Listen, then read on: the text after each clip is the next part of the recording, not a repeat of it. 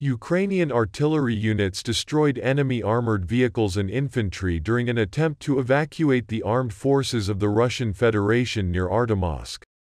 Ukrainian forces with the help of a reconnaissance drone, copied the movement of Russian armored and automotive equipment, as well as enemy personnel in the area of Artemovsk, Bakhmut.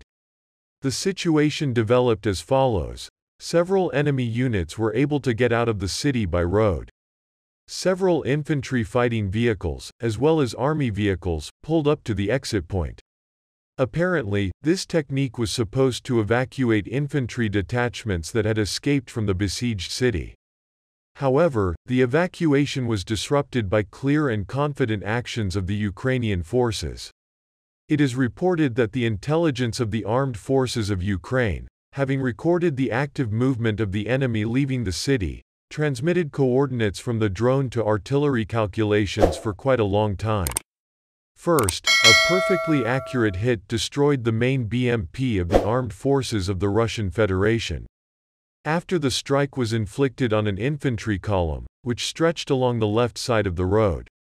According to the most conservative estimates, at least 15 militants were eliminated by this one artillery shot alone.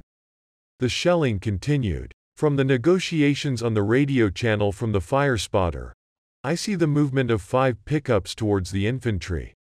Looks like they're going to evacuate her. Yes. Waiting for evacuation. Yes, there are not five pickups, but eight, and a tank.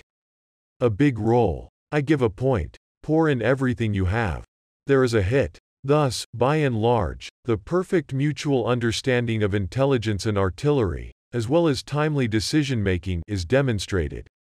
All this made it possible not only to disrupt the evacuation of infantry units of the armed forces of the Russian Federation from the surrounded city, but also to destroy several pieces of enemy equipment.